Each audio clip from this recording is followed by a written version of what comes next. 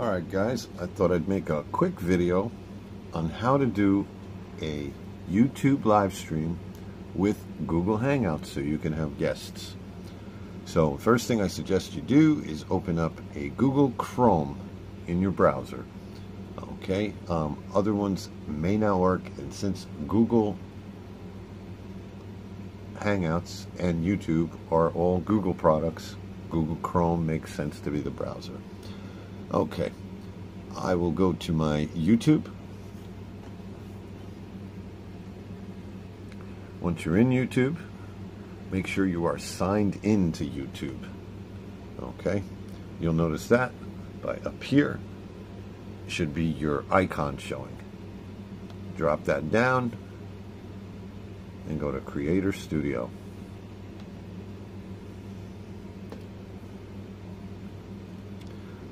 Once in Creator Studio, go down to this side and find live streaming.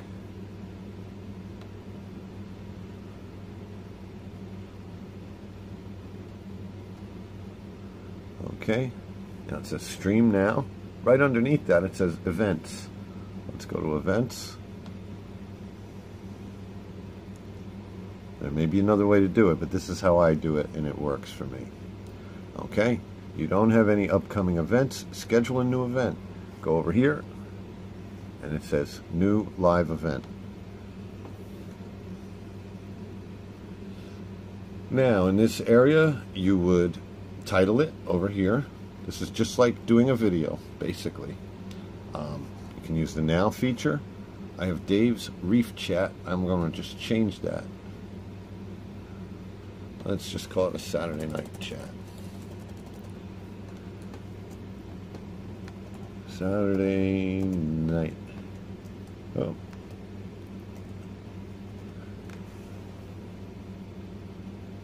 Okay. Now, this is where it's important right here. It says type, quick, using Google Hangouts on air, or try camera. Okay, but we're going to use Google Hangouts on air. Um, you can put your tags in so people can find your stream. But most important, right here. You want that to be public so people can come find it on YouTube. Unless you're doing a closed stream and you just want to invite people to your actual stream and you don't want it to be public, then you would keep it unlisted. But drop that menu down. The top one is public. And then last but not least, go live now. Now on my computer, when I hit go live now, it opens up a new Google Hangout window.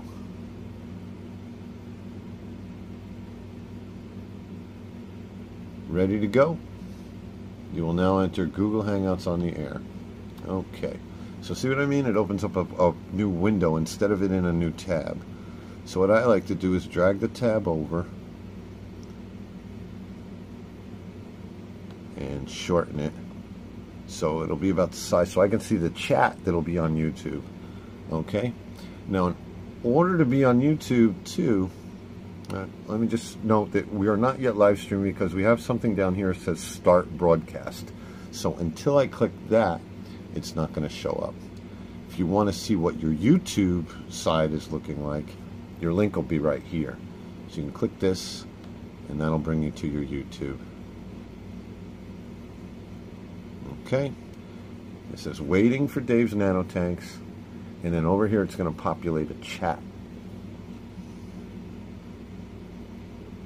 Okay, now it says top chat here. This is something newer where they have top chat and live chat. I suggest being the host that you be on live chat so you get all the messages going on in the chat. Okay, so if you wanted to type something to your friends, you would type down here just like when you visit a live stream. Now, here's some differences. Let's go over to the Google Hangout so you can kind of see some things you can do over here. Okay. Um, up here you've got different settings. This is where you would pick what mic, what camera, and things like that that you're using. Um, red phone, of course, leave the call. You don't want to leave your own live stream. Um, and then over here is where you invite people. Open that tab and you'll notice that you've got a link here Now you can you can invite people by typing their name in here and invite them. That'll make their phone ring or their Google Hangout device ring and they'll answer it and join your call. What I like to do is copy this link. Okay. And that allows me to go over here and paste it right into the chat. So I would right click and paste it. I'm Not going to do that yet. Um, so again, we haven't started yet. A couple of other things to know about in here. Let me close this. There's another chat within Google Hangouts. When you open that, it'll open up here and people can chat in Hangouts and not be seen on YouTube. See, another thing we have is screen share. So right now, this is my camera and you can see me. But if I choose to share my screen, you could choose your entire screen and share it and then go off to YouTube, look at another video or show a product that you're talking about. And that's how you would screen share. Uh, I'm going to cancel that. I'm not going to share. And then one of the more important things, there's some things in here, a cameraman app, but this control room, when you open it up, it'll show everybody that's in your Hangout, not in your chat and then you'll be able to give them different things. And this is where you could give another guest controls over the um, Google Hangout. See, and they would be able to pull this up. You can turn off somebody's microphone, you can adjust their volume, and the way you would give them controls is there'll be a drop down after their name. You drop it down and it says give controls or eject.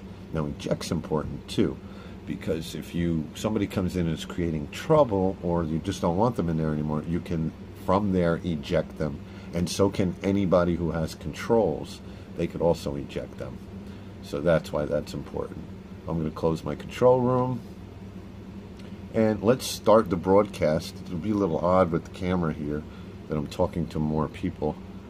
So start the broadcast. And I believe that's when people see it on YouTube. Okay, so it's starting.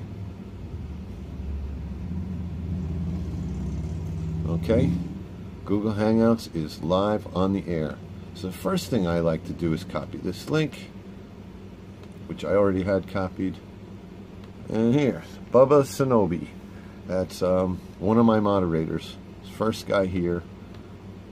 Uh, guys, I'm talking to my camera, which is here and um, because I'm kind of making a video on how to do a live stream but I'll be with you guys in a minute. Another important thing to do is to uh, well let me finish putting this link in here. Let's put that. So yes you want to make sure that you mute your YouTube when you're on a live stream as well.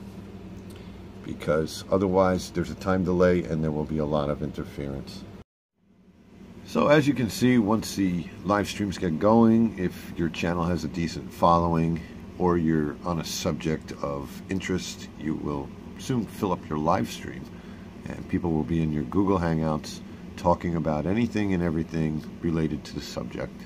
And sometimes it gets off subject, but that's okay. But I thought I would go over a few more things. Um, basically, the three dot thing that we have here. Okay, three dots. Now, if you're just watching and you're not even a moderator, those three dots are still there and they will enable you to go to the channel and report somebody for a bad comment. So if you feel offended by their comment, you need to have a good reason, but you can report them. Um, the go to channel feature is great. You see a new YouTuber channel and you'd like to subscribe, you just go to their channel. It's going to leave the um, live stream window open and just open a new tab. Now once you're at their channel, you can go to their subscribe, hit their bell, so forth. I'm using Reef Girl here for an example, and if you're if you're into reef keeping and you're not subscribed to Reef Girl, you should give her a look. She's got great content. So you can do whatever you need to do here and then go back. Now, if you're a moderator for a channel and you open up this, you will see everything except, I believe, add moderator. Only the host can add a moderator to his own channel. But you'll be able to hide this user on the channel. Now, that's an important one for somebody causing trouble. Okay, so you can hide them from the channel and they will no longer be able to um, leave comments on your videos or in your live streams. Now, because I'm showing a replay right now, I don't have the other option, which is put user in timeout. Now, when you put your user in timeout, that person will not be able to type in the chat for, I think it's, it's 500, 500 seconds or something, 300 seconds. I forget what it is. It's about five minutes that they won't be able to chat. So that's a little slap on the wrist for somebody um, if you don't want to hide them from the channel. And the other thing that was there was remove. And that's just to remove that comment. So if you didn't like a particular comment, you could remove it. Or if you put a link to, say, the live stream in there, you could leave it up there for a couple of minutes and then remove it. So those are your uh, options there. And speaking of Reef Girl, let's add her as a moderator. That's something I can do. Go down here, click. She's now moderator on the channel, and now you will see her name in blue with a blue wrench after it. And the blue wrench means moderator. Okay. Now, as a moderator, you can do everything, like I said, except add a moderator. But in, uh, let's talk about Lisa's Aquatics as a moderator. She's a very good moderator. She says hello, greets almost everybody who comes in the chat. She has a good rapport with everybody. She's a moderator on many channels. And uh, she's also got a nice channel. She does freshwater and saltwater. So if you're into either one of those, take a look at her channel. But another thing that she does for me, in the, if I'm talking about a subject, she will drop a link to that subject, whether it's somebody's channel, a particular piece of equipment, um, a lot of my mods are good, but Lisa's the hardest working one. And uh, so that's just something about them, the moderators. So have some good moderators because once you get a full house in your Google, um, what do you call it? the Google Hangouts. Once you get a full house in there, you may miss some stuff in the um, YouTube chat. So it's important. So I think that's basically all you need to know to run a live stream. And um, sometimes the links don't work from certain devices. So I drop a link for the live stream into the YouTube chat and it may not work. So we can shorten them with bit.ly.com and put that link in. But sometimes it just takes sending that person an email, copying that link from the Google Hangouts and sending that link in an email, and that'll usually get them in. So that should cover everything. Thanks for watching, and see you next time.